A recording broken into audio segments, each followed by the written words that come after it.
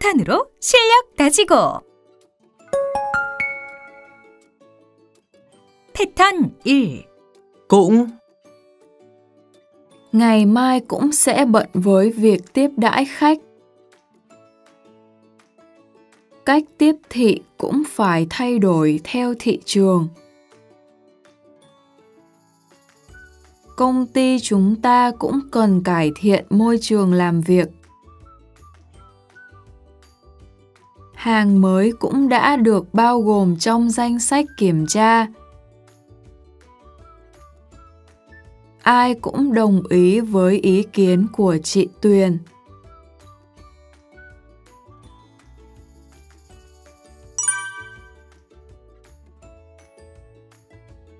Ngày mai cũng sẽ bận với việc tiếp đãi khách.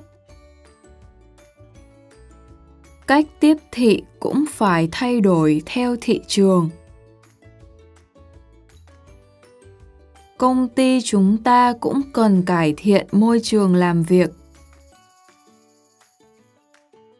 Hàng mới cũng đã được bao gồm trong danh sách kiểm tra.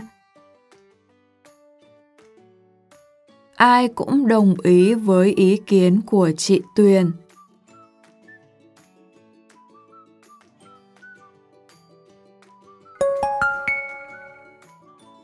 패턴 2 mất rồi Món ăn bị nguội mất rồi. Tôi lỡ tay xóa tập tin đó mất rồi. Em làm vỡ cái cốc của chị mất rồi.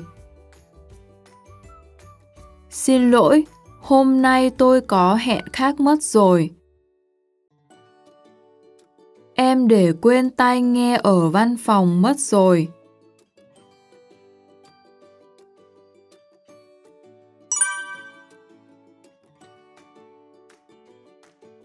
Món ăn bị nguội mất rồi. Tôi lỡ tay xóa tập tin đó mất rồi. Em làm vỡ cái cốc của chị mất rồi. Xin lỗi, hôm nay tôi có hẹn khác mất rồi.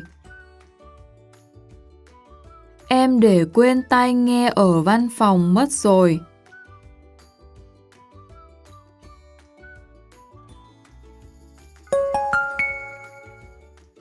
패턴 3 rồi Tôi gửi email rồi nhắn tin cho chị. Em điều tra rồi báo cáo ngắn gọn nhé. Sản phẩm đó đã tung ra, rồi bán chạy lắm. Chúng ta họp xong, rồi đi uống cà phê nhé. Đợi bài thuyết trình xong, rồi mọi người hỏi tự nhiên nhé.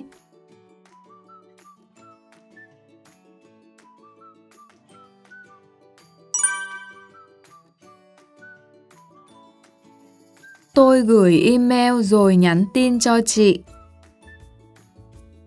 Em điều tra rồi báo cáo ngắn gọn nhé. Sản phẩm đó đã tung ra, rồi bán chạy lắm. Chúng ta họp xong, rồi đi uống cà phê nhé. Đợi bài thuyết trình xong, rồi mọi người hỏi tự nhiên nhé.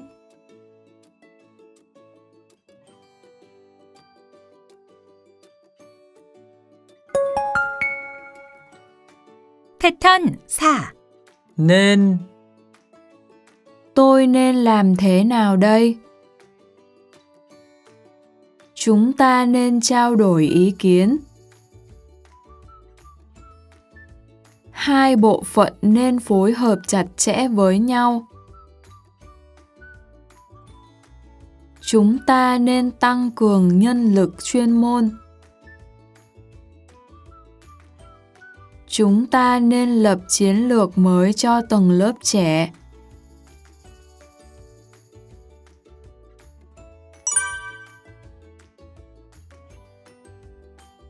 Tôi nên làm thế nào đây? Chúng ta nên trao đổi ý kiến. Hai bộ phận nên phối hợp chặt chẽ với nhau.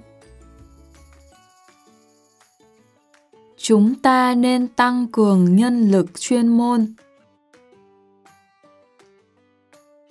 Chúng ta nên lập chiến lược mới cho tầng lớp trẻ.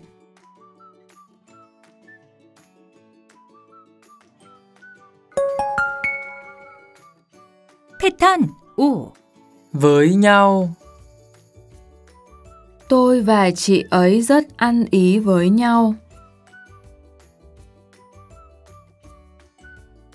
hai công ty đã hợp tác với nhau.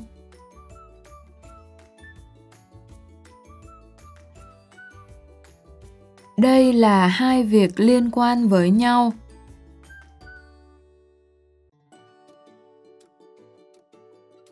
Chúng ta hãy giữ liên lạc với nhau nhé.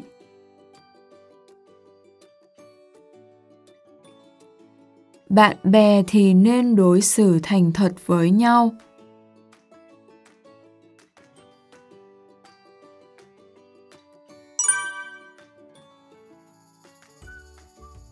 Tôi và chị ấy rất ăn ý với nhau. Hai công ty đã hợp tác với nhau.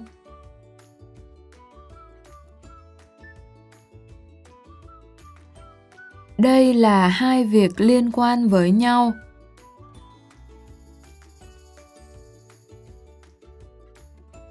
Chúng ta hãy giữ liên lạc với nhau nhé.